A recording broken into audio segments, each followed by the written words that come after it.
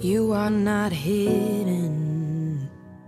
There's never been a moment you were forgotten. You are not hopeless.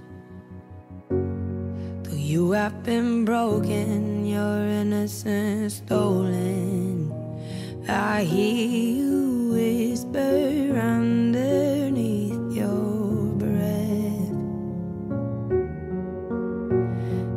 hear your SOS, your SOS.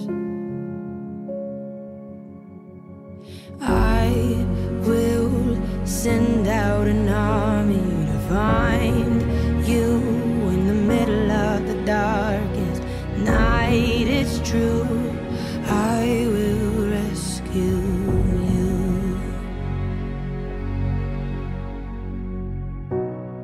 Ed and Charlene in tears as they describe their daughter. She's a beautiful woman. Um, loves children. And she's an artist. She's a makeup artist. The, out- the outpour of the community has been phenomenal. I mean, I can't and imagine. it's traveling throughout the states. We gotta get you home. We will get you home.